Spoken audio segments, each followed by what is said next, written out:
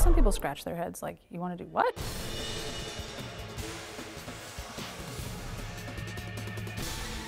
Hi, I'm Jessica Wickham, owner of Wickham Solid Wood Studio.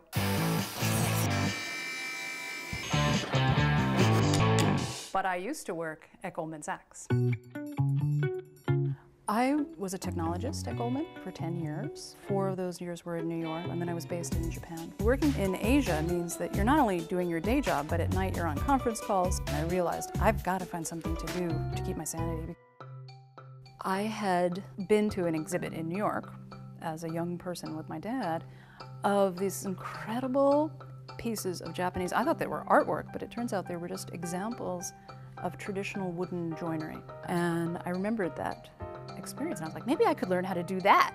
It was just a way to connect to Japan and, and just to do something with my hands. After 9-11, the firm was restructuring and they wanted to send me back to the New York office. I wasn't ready to go back. I decided to quit and I stayed in Japan. And I was doing the woodworking until 2003. I came back to New York and I started out with a couple of tools and I had one helper and figured a lot of stuff out. So we had this show of our first tables. An architect from an extremely prominent firm saw the tables in the window and hired us to do our first big job, which was for the National Audubon Society. And that, that started things. We've made tables for $1,000 and we've made tables for $25,000. I wish I could afford one of the tables.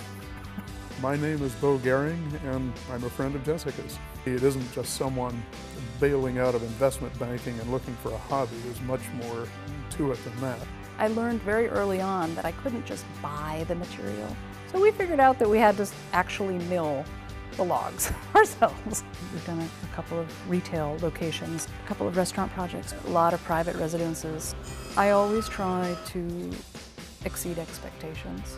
When a, a client says to me, oh my God, this is even better than I imagined, that's what I'm after because it's, it's so satisfying.